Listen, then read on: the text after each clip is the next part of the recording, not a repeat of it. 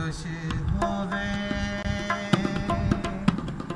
ਐਸੀ ਬਾਰਿਸ਼ ਪਾ ਰੁਦ ਜੁੰਬਸ਼ ਹੋਵੇ।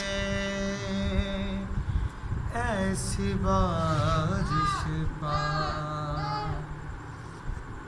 ਹਿਲ ਜਣ ਕੰਦਾਂ ਦਜਤੀ ਸਾਰੀ।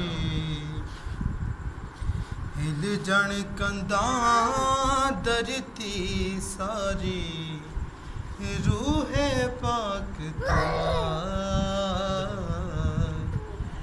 ਰੁਦ ਜੁੰਬਸ਼ ਹੋਵੇ ਐਸੀ ਬਾਰਿਸ਼